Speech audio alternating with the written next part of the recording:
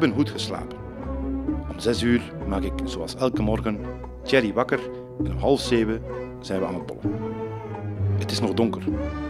Thierry is ondertussen veranderd in een blauwe man. Zo worden althans de Berbers genoemd die de typische blauwe sjaal rond hun hoofd dragen.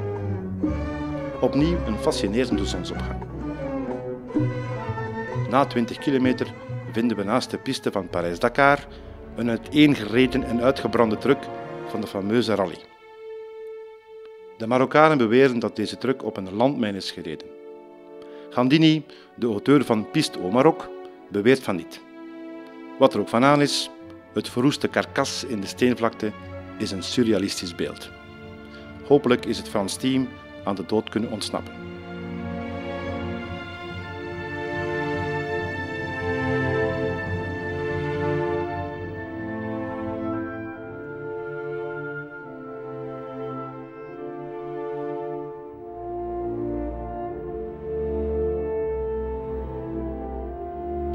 Her en der liggen ook resten van militaire voertuigen.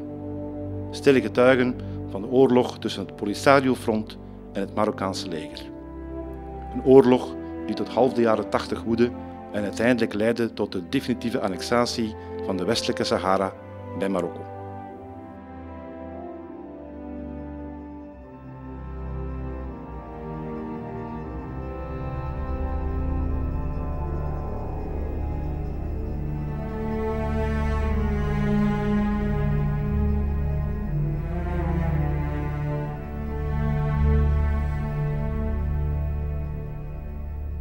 De piste loopt meestal door eindeloze vlaktes, maar ook langs hoge steenbergen die op vulkanen gelijken, maar het niet zijn.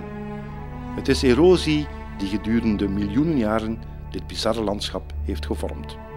Buiten dromedarissen, ezels en wat vogels komen we zelden andere dieren tegen in deze woestenij. Hier wel een soort woestijnslang. En een afdruk van een dromie.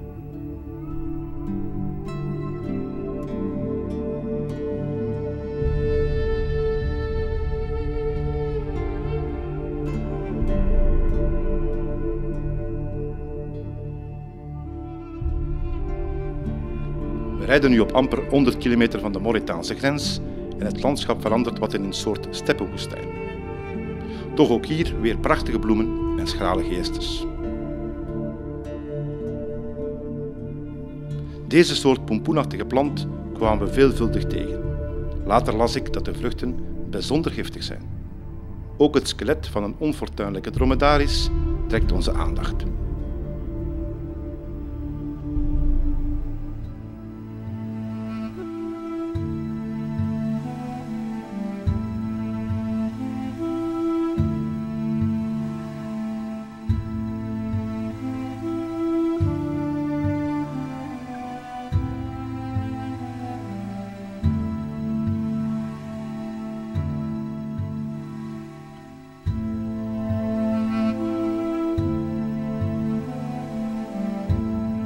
Op zowat 100 kilometer van Smara bereiken we het zwaar gebombardeerde stadje Hausa.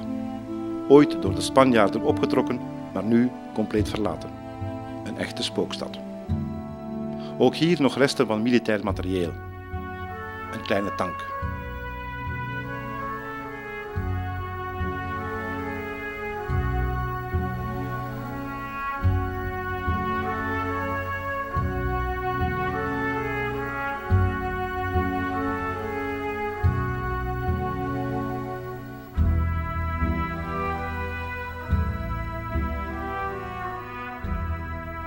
Oude grondwegwijzer uit de Spaanse bezettingsperiode.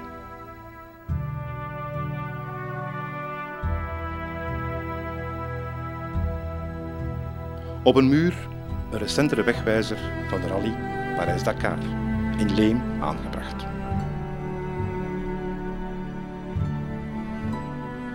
En ja, ook uw verslaggever moet af en toe eens de afwas doen. Tegen alle verwachtingen in bereiken we al om vier uur in de namiddag de stad Smara in de westelijke Sahara. Veel politie en militaire controles hier. Op een terras drinken we opnieuw de ons al vertrouwde thee à la menthe. Het is warm, meer dan 25 graden, en dat pas eind januari. Zoals overal in Marokko, ook hier kleine bazaars. De stad blijkt op dit uur wat verandert snel, eenmaal het donker wordt. Duizenden mensen komen pas nu op straat en de stad begint te leven. De achterbuurten met de soeks zijn groezelig, maar wat een sfeer. Groenten, fruit, vlees en vis zijn er in overvloed te koop. We kuieren rond tot laat s'avonds en eten uit het vuistje gerechten van de talrijke kraampjes. Niet vies zijn is hier de boodschap. En dan smaakt alles heerlijk.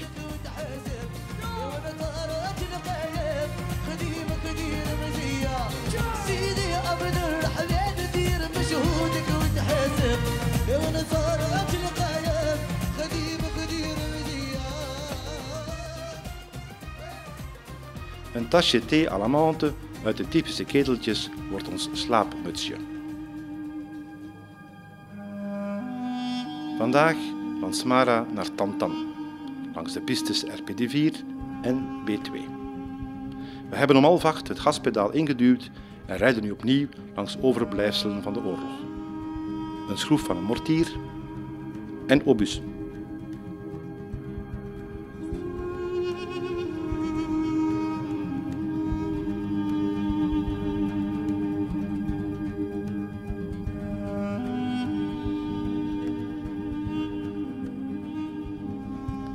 Bolcactussen van wel meer dan 100 jaar oud staan kriskras verspreid langs de piste.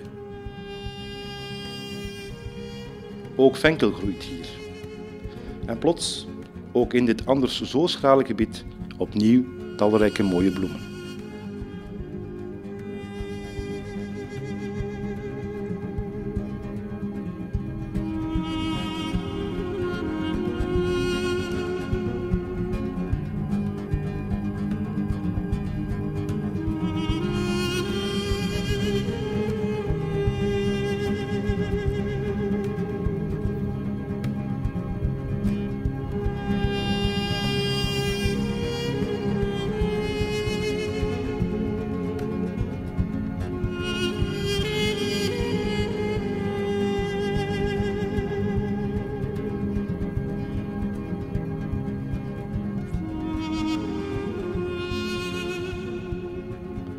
Tegen de middag zit de piste nummer 4 van de Rallye Parijs-Dakar erop. En nagenoeg ook al onze diesel. We kiepen de tank vol met de diesel uit de jerrycans en hopen in het eerste stadje Abete diesel te kunnen kopen. Het zal nodig zijn. In het stadje zijn er opnieuw veel controleposten. De agenten en militairen zijn vriendelijk, maar opnieuw is het paspoort afgeven en telkens de hele uitleg erbij. De militairen in Abetay verbieden ons deze piste te volgen. Ze zou te gevaarlijk zijn vanwege de vele landmijnen. Deze keer zijn we echter ongehoorzaam en een drietal kilometer voorbij het stadje rijden we via een zijspoor toch naar de piste. Deze staat als mooi, maar zwaar aangeschreven. Het gebied is opnieuw bijzonder desolaat en de dromedarissen lopen er traag en statig rond als waren ze een soort mini-dino's. We stoppen even om een pre-islamitisch graf te bezoeken.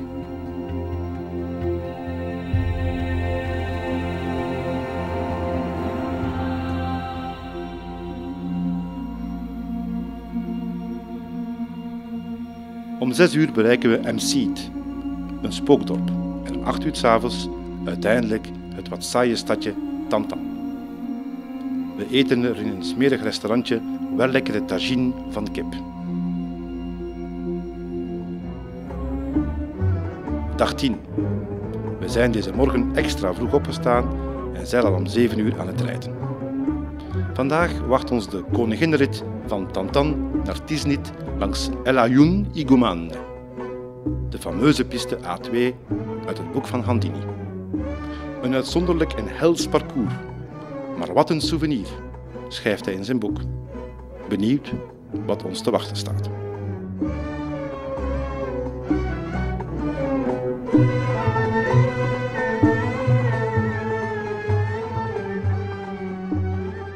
Aanvankelijk rijden we nog langs grote alleenstaande woningen, maar dan liggen enkel nog eindeloze heuvelruggen en valleien voor ons.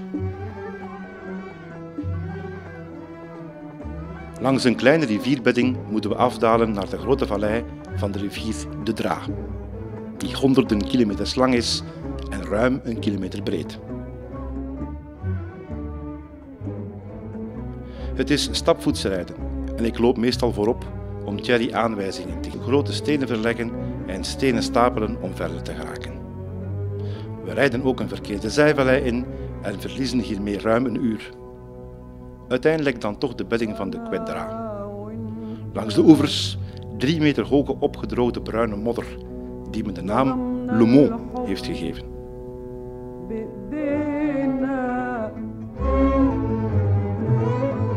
In de vallei is er nergens een spoor te bespeuren. Enkel tamarisken, geesters, zand, modder, plassen, poelen en steile rivieroevers. Acht kilometer lang moeten we ons door deze wildernis een weg zoeken. Het is bijna 30 graden. Het tempo ligt ellendig traag en we rijden ook geregeld vast in de modder en de poelen.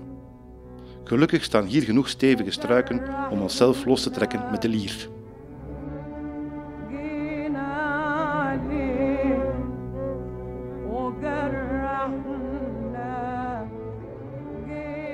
Na vier kilometer geploeter staan we boven een vijf meter hoge steile oever. Er is maar één mogelijkheid om verder te geraken. Naar beneden en door de rivierbedding.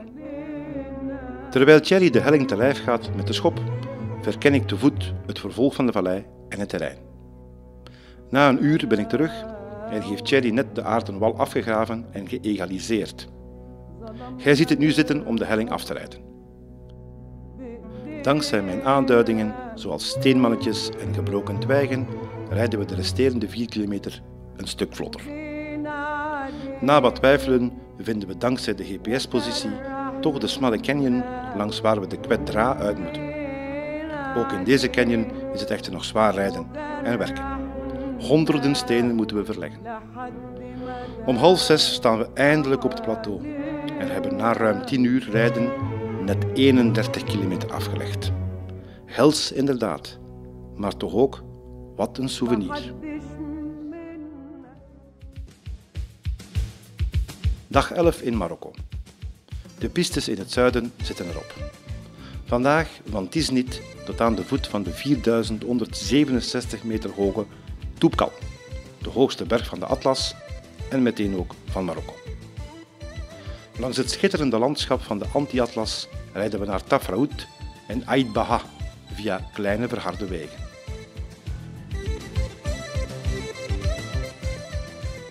Tafraout, gelegen in het hartje van de Anti-Atlas, is een mooi stadje. De huizen zijn er opgetrokken in okerkleurige zandsteen.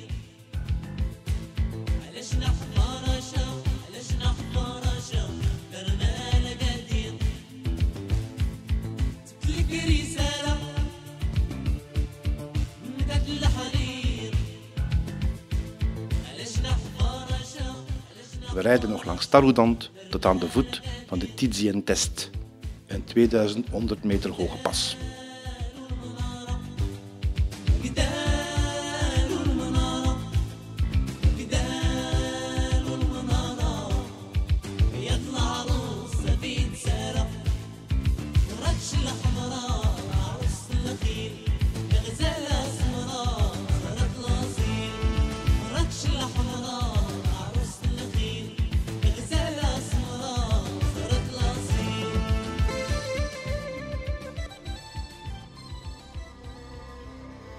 Vandaag langs de Toekal naar Marrakesh. De zon vertoont zich amper in het oosten als we al aan het rijden zijn. We hebben geluk. De weg is sneeuwvrij en de kol is open, wat uitzonderlijk is voor begin februari. De mooi opkomende zon kleurt de bergen oranje-rood. Dat deze weg niet zonder risico is, bewijzen een aantal achtergelaten wrakken.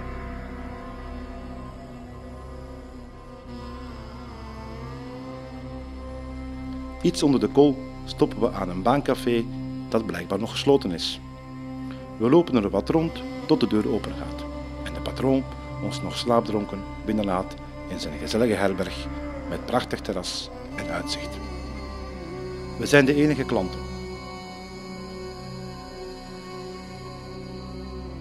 Het religieuze feest van het schaap of Idul Adha in het Marokkaans, is net voorbij. En buiten op het terras ligt in de koele ochtend een portie vers schapenvlees klaar voor vandaag. We genieten hier van een heerlijke tas koffie en thee en ruilen er eten en materiaal tegen mooie stenen en mineralen.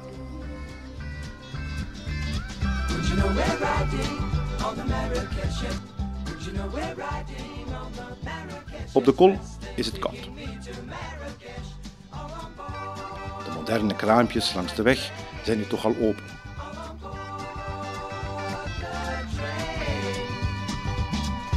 I've been saving all my money just to take you there. I smell the garden in your hair. Take the train to Casablanca going south. Blowing smoke rings from the corners of my, my, my, my,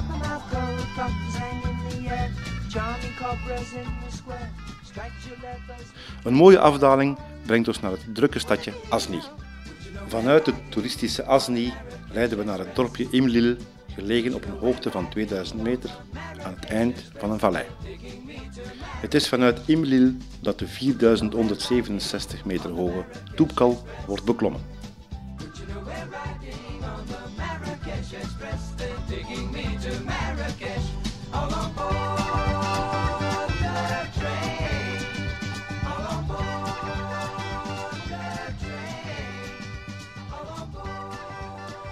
In dit prachtig hooggelegen bergdorpje ontmoeten we ook twee Vlamingen op de motor. De twee mannen doorkruisen ook Marokko en hebben ook pistes in het zuiden gereden. Plezierig om eens Vlamingen te ontmoeten.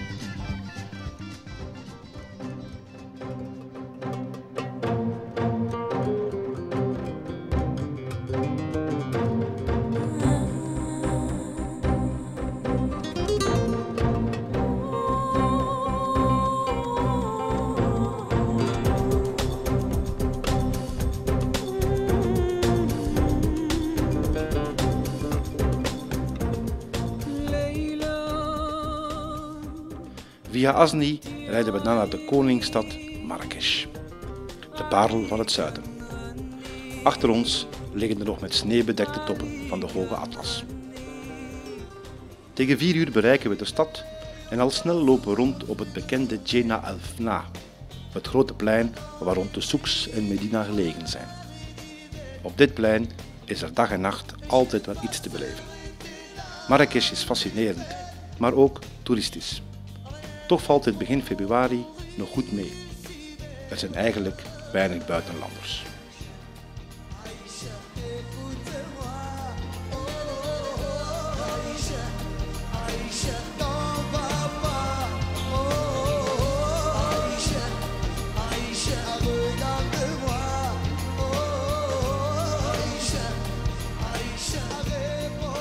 We kuieren wat door de grauwe achterbuurten en maken er kennis met een ander Marrakesh. Minder afgestoft en niet de stad die toch wat te lijden heeft onder het toerisme. De beelden spreken voor zich.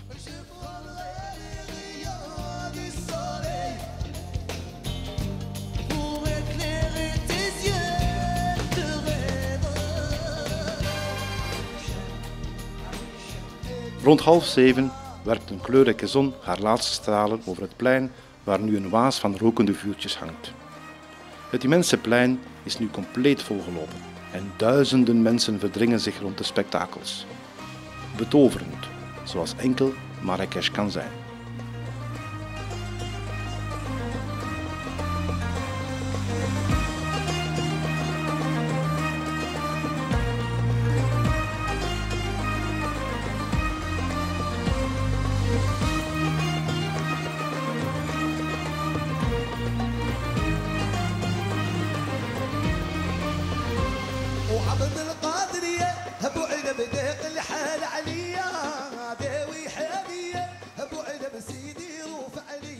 Marrakesh is niet de hoofdstad van Marokko, maar de stad gaf wel zijn naam.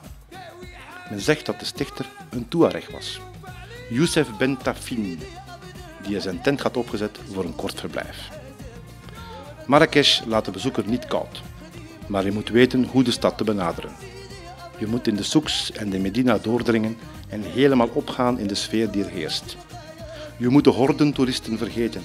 En dan wordt Marrakesh een juweel, gevat in een natuurlijk schrijn, gevormd door de bergen van de Hoge Atlas.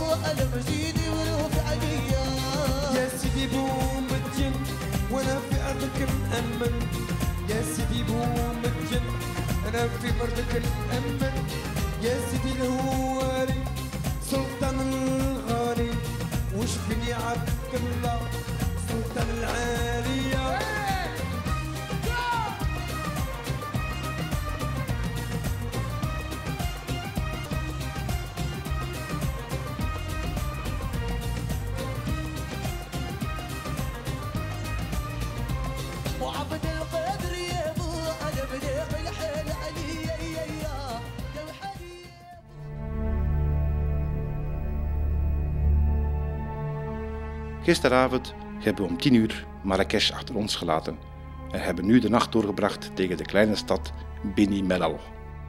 Onze laatste dag in Marokko start opnieuw onder een stralende zon. Via Casbatadla rijden we door een lappendeken van akkers en frisgroene weiden. 4500 kilometer reden we door een fascinerend Marokko. 3000 kilometer daarvan waren piste. Het is mooi geweest.